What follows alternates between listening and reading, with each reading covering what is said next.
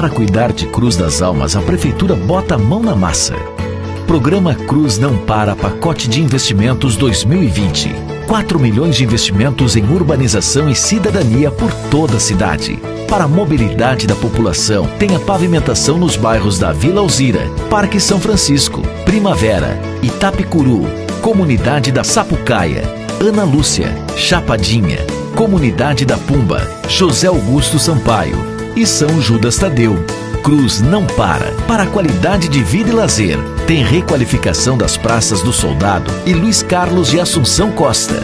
Na saúde, tem a reforma e ampliação da UPA. Cruz não para. 4 milhões de investimentos em urbanização e cidadania por toda a cidade. Pacote de Investimentos 2020. Governo do Povo trabalha, sua vida melhora. Prefeitura Municipal de Cruz das Almas.